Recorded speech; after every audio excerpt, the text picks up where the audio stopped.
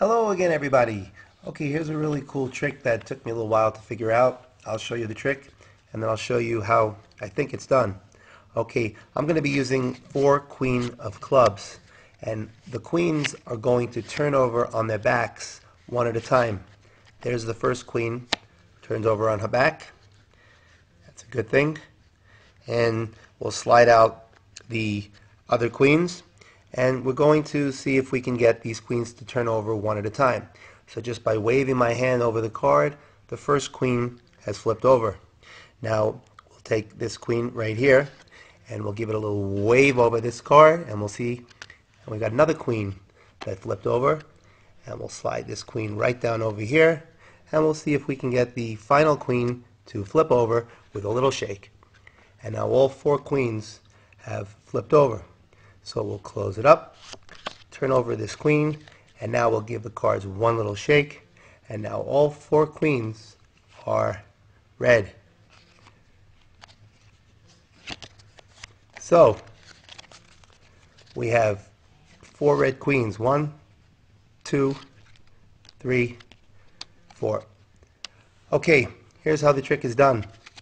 You want one blue queen, three red queens, two blue indifferent cards, and a double back blue-red card. The way the trick is set up is you want two queens on top, then the two indifferent cards, then the blue-red card with the blue face up, then the blue queen, oh this is the blue queen, then the blue queen face down, there's your four blue cards, and then one other red queen face up and the other red queen face up. So that's how it looks just like that. Okay, what you do to start is a an Elmsley count to show that you have four Queen of Clubs. Now, you can use four different cards, but you'll be showing the same card twice with the Elmsley count. Then what you do is you hold the cards like this with a biddle grip, slide off the top card, slide the second card off, and then hold the whole pack like this and take the top card and push the whole pack off the bottom, sliding it back, saying the first queen flipped over and you set the queen on top. You grab it like this, and you pull the two queens out from the bottom. So you've got this queen and this queen. Now you have the whole pack right over here. What you're going to do is then you're going to it's going to make a little break right over here so you'll be able to slide. As I put my hand over, this is what's happening. That card is going down and covering up the first queen. Then a little bit of an adjustment. Now this is the double back card and you can see this double stick tape here. This is the fattest card right here. So this is the next card that you want to push down. So you then go like this and slide that one down, and that one covers uh, the queen. Then you take the fourth queen and you put that underneath, and then once again there'll be a slight break right by that fourth card, and you want to, and the fourth card is behind the double stick tape card, and then you want to, as you're shaking it, you want to push that card through. So all four queens have now flipped over.